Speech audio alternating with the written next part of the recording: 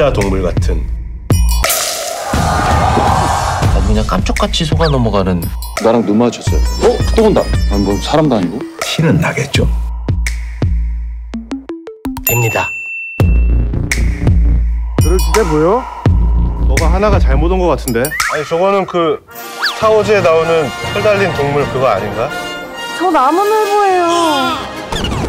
다들 이게 정말 가능하다고 생각해요? 오직 연습만이 살 길입니다 맨 안쪽에 짱 박혀서 관람해야 합니다 우와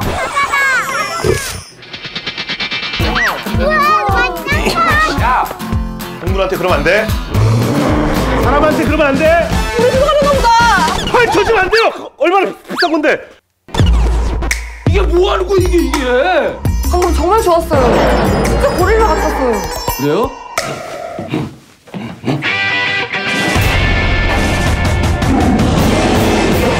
이놈의 동물은 죄다 풀어놓고 지랄이야 이 세상 그 누구도 동물원에 가짜 동물이 있을 거라고 생각하지 않습니다.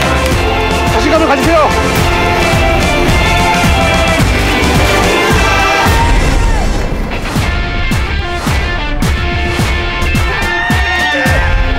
뭐 이상한 거 못 봤어? 아 뭔가 좀 이상하긴 했습니다.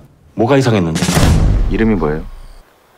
고롱이 기롱이 사롱이, 나무롱이. 대롱이 뭔 소리야 그게?